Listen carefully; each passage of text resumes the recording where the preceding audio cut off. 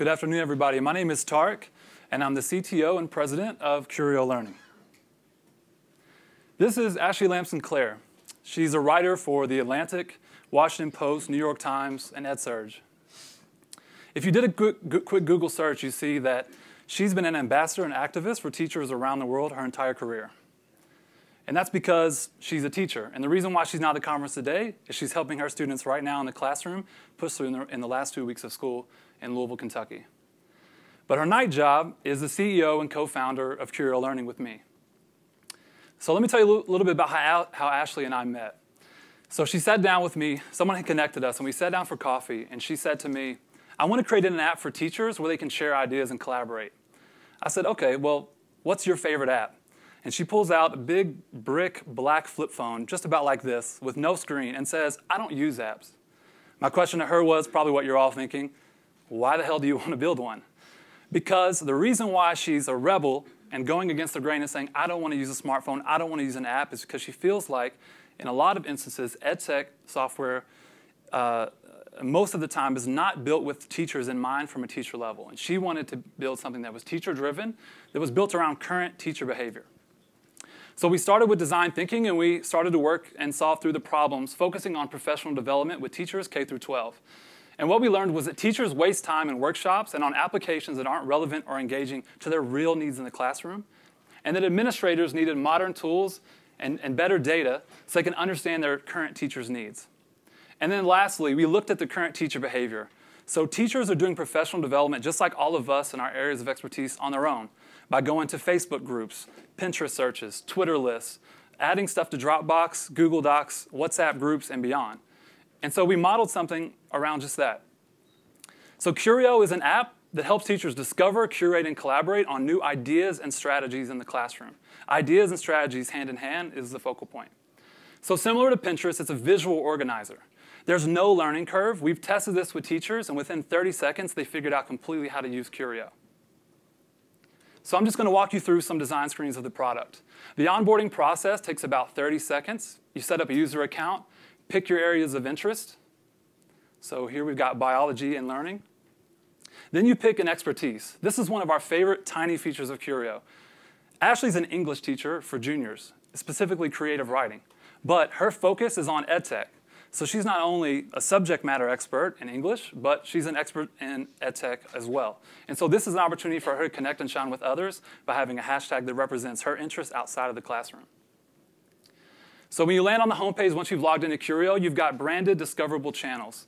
Let's take Huffington Post, for example. If I was a user and I clicked on that, I might see 10 recently curated articles or thought leader pieces um, curated by Huffington Post directly. Um, so let's see. Let's go back. So if you look at the top navigation menu, it's very simple. There's a giant search bar across the screen, Ashley's picture, as that's her avatar for her profile, and then one simple menu button, which if you click, you'd see that big purple menu pop up. It's extremely easy to navigate.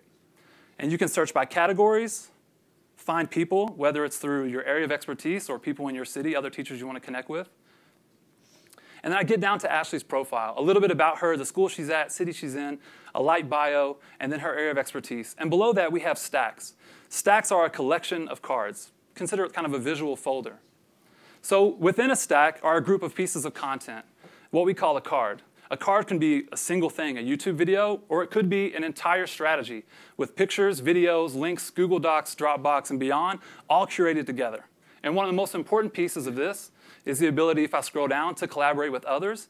I can get a thumbs up from a teacher who's just showing some love, or I can pose a direct question about, hey, what would you do better about this section of my idea with my PLC so I can get strong feedback from anywhere in the world.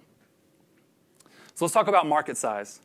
There's 3.9 million teachers in the US K through 12. 56 billion is spent on professional development. That's not including salaries. That breaks down to $18,000 per teacher per year. When we asked teachers over 1,000 what they got out of their $18,000, most of their answers were crusty hummus in a gymnasium with some RC cola. You can laugh at that. So we've got, a, we've got two parts of, of uh, we've got actually five revenue streams. But one of the things that's important to Ashley and I both is that it's free forever for teachers, for forever. Not for six months, but for forever. There's a few limitations in the future additional features of Curio that an individual teacher could pay for if they wanted to tap into those. But honestly, they could use Curio and be exactly happy with what they have for free. The $8 model is for, is for innovative administrators or superintendents who want to give Curio to all their teachers with the ability of having upgraded features and a data dashboard that helps them understand activity usage, as well as what things are teachers talking about, maybe not in the classroom, but on Curio, related to hot topics such as diversity or immigration. So if, if 5% of our total uh, addressable market, and that's not even honestly the real TAM, but the one we focus in on, um, over the next three and a half years, we can bring in between 75 to 80 million dollars in revenue, and that's with only 30% of this 200,000 um, being paid subscribers. This is our, some of our team here in terms of leadership.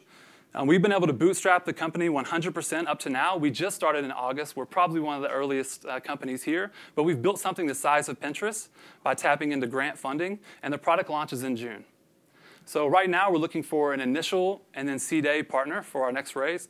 And in June, we plan to go live, um, and with an expectation of around 20,000 users by the end of August. We're the first mover to market. We've got teacher credibility and district credibility because our price is low, especially if it's free, and it's all about high engagement and high relevance. And really, our mission comes down to allowing teachers to break through curriculum norms and teach like a rebel. So thank you all so much for your time. Hope you've enjoyed the conference as much as I have. I've got some handouts in the back, and I'd love to speak with anyone if you all have questions. Thank you.